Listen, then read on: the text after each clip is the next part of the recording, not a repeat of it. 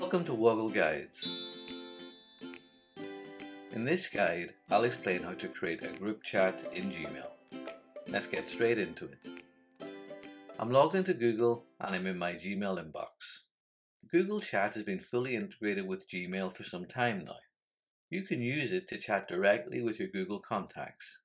But one of its most powerful features is when you open group conversations with multiple contacts in Gmail.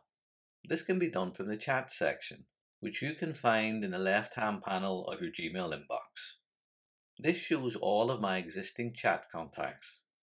To start a group conversation, I need to click on the new chat button.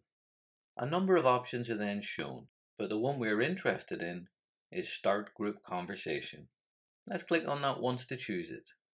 I can now create a group conversation by clicking on my existing Google contacts to add them or if they're not already in my contact directory, I can just type their name and then press the return key to add them.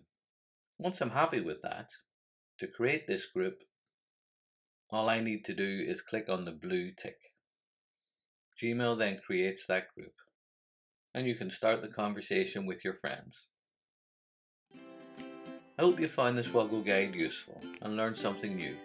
If you have, please like or subscribe for free so that you can find out when new guides are available.